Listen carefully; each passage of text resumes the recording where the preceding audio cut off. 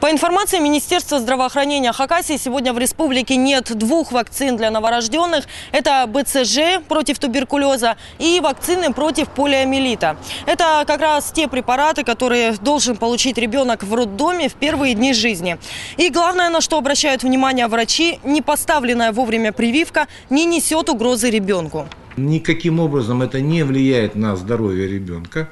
Есть одни только проблемы у родителей. В чем? Если ребенок не получил вовремя прививку а, по календарю национальному, у него будет ограничение для посещения а, дошкольных учреждений. Потому что на сегодняшний день, если нет всех прививок, то посещать нельзя.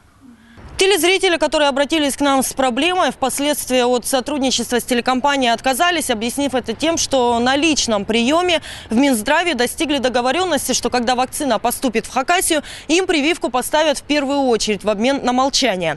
Тем не менее, проблема эта есть, и дефицит э, вакцины для детей сегодня имеет место на всей территории России. Ситуация связана со сбоем при проведении аукциона на закупку.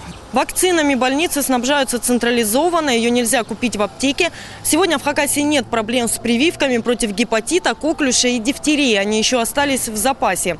Что касается тех, которых сейчас нет, БЦЖ и полиомиелитной, их можно будет поставить позже, когда препараты поступят в Хакасию. Предположительно, это будет в июне.